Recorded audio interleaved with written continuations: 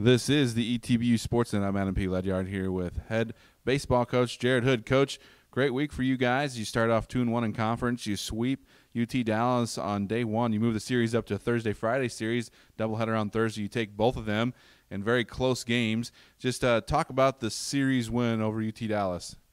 Uh, well, I, I, really think that series uh, says a lot about the character of our team and how they're able to adapt and to adjust to uh, to different conditions. You know, we moved the game up a day, uh, or the series up a day, and then on top of that, we you know there were like 25 to 30 mile an hour winds straight in.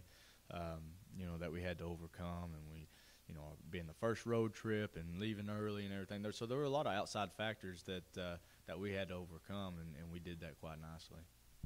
Now this week you got a little bit of wintry weather. Uh, not sure what the weekend will hold. You got another team coming in, Hardin Simmons in the conference. Well, what does your team do on a week like this to kind of keep yourselves going with that series win, even though you have to be inside? Uh, we do all we can. Um, you know, the good thing about it is that we're able to uh, to have a facility to where we can get some work in inside.